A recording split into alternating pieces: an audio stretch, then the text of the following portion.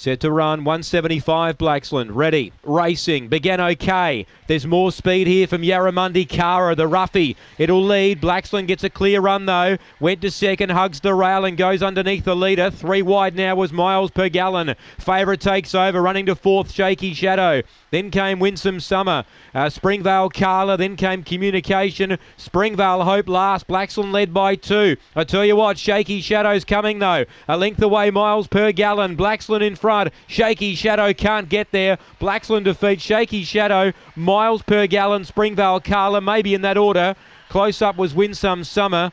And the last pair in, Yarramundi Kara, who did show some early toe, and Springvale Hope towards the rear. The time is 30 and 23. Blacksland, second favourite home. Number one, doesn't half shaky shadow run a terrific second here at big odds.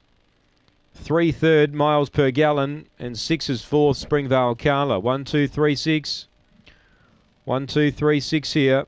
30 and 23, 448 early, 17, 16, and 1307 the run home. So one, two, three, six confirmed. One, two, three, and six. And the winner, too good, Blacksland here.